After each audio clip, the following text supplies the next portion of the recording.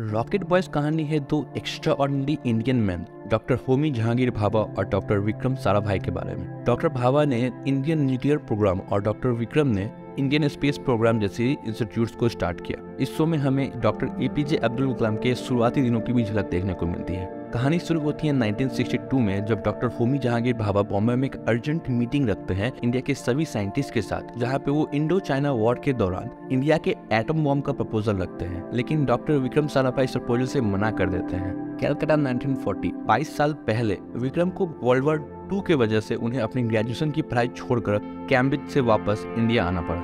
Doctor Homi Bhabha Calcutta college of science में atomic race पे lecture देते हैं। लेकिन उनके प्रोफेसर डॉक्टर रजा को उनके पढ़ाने का तरीका पसंद नहीं आता है और इस रीजन से होमी कॉलेज छोड़ देते हैं।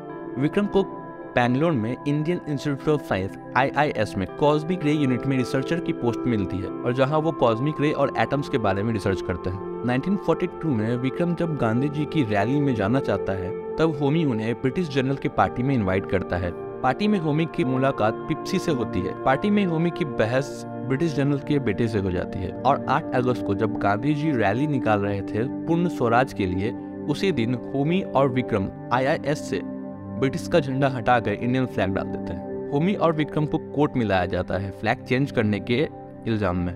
बट होमी के फादर जहांगीर भाभा उसे बचा लेते हैं। लेकिन ब्रिटिश एम्पर आईआईएस का फंड रोक देती है। और जिसे सॉल्व करने के लिए सीवी रमन रिजाइन देने जाते हैं बट होमी उन्हें रोक लेते हैं। होमी फंड इकट्ठा करने के लिए व्यवस्था करते हैं। फंड रेजर इवेंट में एक क्लासिकल डांसर क्रू मृणालिनी होती है। विक्रम पहली बार मृणालिनी को वही देखते हैं।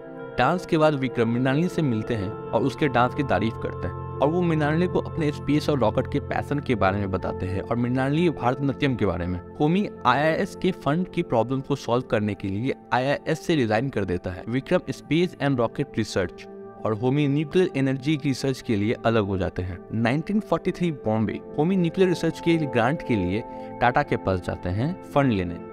विक्रम अपनी थेसिस के इंटरव्यू को छोड़कर मृणालिनी के पास जाता है और उसे शादी के लिए प्रपोज करता है। फिर दोनों शादी कर लेते हैं। शादी के दौरान होमी को पता चलता है कि उसे न्यूक्लियर प्रोग्राम के लिए ग्रांट मिल चुका है। सीवी रमन होमी को आईआईएस का न्यू प्रोफेसर माथुर से मिलाते हैं। विक्रम मृणालिनी को लेकर अहमदाबाद अपने घर जाता है फैमिली के पास। विक्रम की फैमिली उसके शादी करने के बात को लेकर खुश नहीं है। उधर होमी के फादर जहांगीर भावा की सडन डेथ हो जाती है और होमी उनके जैसे काफ़ी सदमे में है। 1947 अभी भी होमी अपने फादर की डेथ से रिकवर नहीं हो पाए हैं और अपने आप को एक रूम में बंद करके रख लिए हैं। विक्रम फ़िज़िकल रिसर्च लेबोरेटरी के इनाग्रेशन करता है। माथुर विक्रम को बताता है कि होमी अब टाटा इंस्टीट्यूट के फंडामेंटल रिसर्च में नहीं आते हैं। रजा इंडिया का best nuclear physics institute Calcutta में सी बनता है। उसी का इंटरव्यू लेने के लिए पुरसंजीत दे आते हैं। पिप्सी पेरिस से आती है और होमी को फिर से बैक टू नॉर्मल लाइफ लाने में हेल्प करती है और होमी को मोटिवेट करती है। होमी टी जाते हैं और फिर से काम करने लगते हैं। इंडिपेंडेंट डे के पहले कांग्रेस एक पार्टी ऑर्गेनाइज करती है जिसमें ऑल इंडियन साइंटिस्ट को बुलाते हैं एक प्रोग्राम स्टार्ट करने के लिए।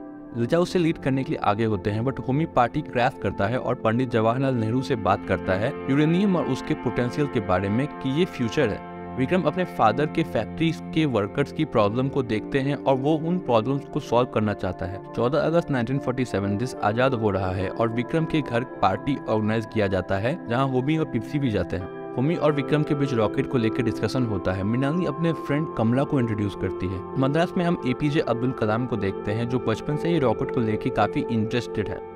विक्रम फैक्ट्री में फॉरेन मशीन को लाने का प्रपोजल देता है और उसके फादर उसे मना कर देते हैं। बट विक्रम के समझाने पे सभी मान जाते हैं। Vikram Ahmedabad textile industries research association की स्थापना करता है और उसमें कमला को ह्यूमन रिसोर्स डेवलपमेंट का पोस्ट देता है। दिल्ली में पीएमओ ऑफ़िस में नेहरू जी ट्रेवन कोर्ट के राजा के साथ मोनोऑक्साइड डील करने की कोशिश करते हैं, बट किंग उन्हें मना कर देते हैं। होमी किंग को ब्लैकमेल करता है और मोनोऑक्साइड की डील कर लेता है। Atomic energy commission of India का चेयरमैन डॉक्टर होमी भाभा को चुना जाता है। रजा इसका विरोध करता है बट वोटिंग के दौरान होमी को ही अपॉइंट किया जाता है। पिप्सी ये जान जाती है कि होमी अपने काम को लेकर बहुत ज़्यादा पैशनेट है और उसे शादी नहीं करेगा। मृणाली अपने dream Bharatanatyam dance academy open करना चाहती है बट विक्रम उसका सपोर्ट नहीं करता और कुछ दिन रुकने के लिए कहता है 1948 में एयर इंडिया रेडियो से होमी इंडिया के फ़र्स्ट न्यूक्लियर रिएक्टर को नेक्स्ट पाँच साल में बनाने का अनाउंसमेंट करते हैं, जिससे वो सभी जगह इलेक्ट्रिक प्रोवाइड कर सकेंगे। ये सुनकर बॉम्बे के रिपोर्टर पुरसंजीत दे जो सीआईए का एजेंट है, वो सीआईए को इन्फॉर्म करता है ताकि इंडिया एटम बम ना बना सके। 1952 में रजा बंगाल में इलेक्शन जीत जाता है और नेहरू पर न्यूक्लियर रिएक्टर अभी तक स्टार्ट नहीं होने का ब्लेम करता है। नेहरू जी होमी को बुलाकर उसे चेयरमैन बनाने का रीजन पूछते हैं और अगर होमी न्यूक्लियर रिएक्टर नहीं बना सका तो उसे रिजाइन करने के लिए कहते हैं। पिप्सी होमी के घर जाती है उसे अपने इंगेजमेंट में इन्वाइट करने के लिए। होमी लंदन जाता है ब्रिटिश और फ्रांस से हेल्प लेने के लिए ताकि वो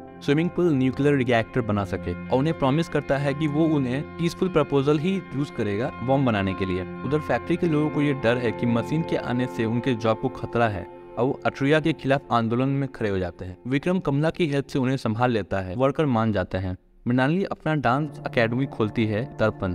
विक्रम को इनवाइट करती है बट वो अट्रिया की वजह से वहाँ नहीं आ पाता। 1956 विक्रम से मिलने साउथ के एक यंग स्टूडेंट आता है और वो स्टूडेंट एपीजे अब्दुल कलाम जी होते हैं। विक्रम अटीरा विक्रम अटीरा को लेके इतना बिज़ी है कि वो स्पेस और रॉकेट प्रोग्राम को भूल चुका था। कलाम विक्रम को याद दिलाते हैं कि उसने फ़िज़िकल इंस्टीट्यूट लेबोरेटरी स्टार्ट किया था और उन्हें मोटिवेट करता है स्पेस प्रोग्राम स्टार्ट करने के लिए। होमी न्यूक्लियर रिएक्टर बना लेते हैं बट कंट्रोल में कुछ प्रॉब्लम आ जाता है। नेहरू जी और रजा रिएक्टर देखने आते हैं। होमी खुद स्विमिंग पूल में जाकर रिएक्टर ठीक करता है एंड रिएक्टर सक्सेसफुल रन करने लगता है। विक्रम पिप्सी के वेडिंग में जाता है और होमी भी वहाँ जाता है। कंग्रेचुलेट करने के लिए। विक्रम होमी और कलाम नेहरू जी के पास जाते हैं इंडियन स्पेस रिसर्च स्टार्ट करने के लिए। नेहरू जी मना कर देते हैं, बोलकर कि अभी इंडिया को ज़रूरत नहीं है। बट कलाम सर नेहरू जी को कन्विंस कर लेते हैं। Vikram Indian national committee for space research inauguration करने वाला होता है और तभी उन्हें पता चलता है की चाइना इंडिया पे अटैक कर चुका है। फिर हम विक्रम और होमी के बीच एटम बम के बारे में डिस्कशन देखते हैं। चौबीस अक्टूबर 1962 होमी पीएमओ ऑफ़िस में एटम बम बनाने का प्रपोजल लगता है और सभी मना कर देते हैं। Thirty October October Homi Leningrad जाता है रशियन से मिलने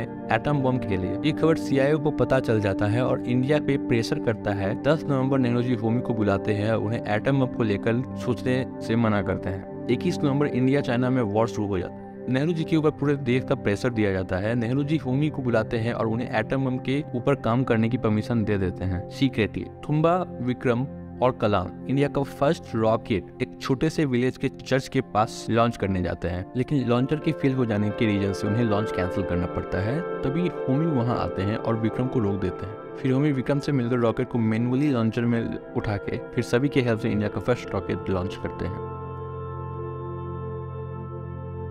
वर्जीनिया सीआईए को पता चलता है कि नेहरू ने एटम बम के लिए परमिशन दे दिया है। रजा होमी के पास जाता है। उसे बताता है कि कुछ साल पहले सीआईए के एजेंट आए थे। रजा को सी में शामिल करने के लिए। और सीआईए उन्हें मारना चाहता है। सीज़न वन यही खत्म। अगर आपको ये वीडियो पसंद आया तो चैनल को सब्सक्राइब कीजिएगा, वीडियो को लाइक कीजिएगा। और हमें किस दूसरे इंडियन टीवी शो को कवर करना चाहिए कमेंट सेक्शन में ज़रूर बताएँ। Till then good bye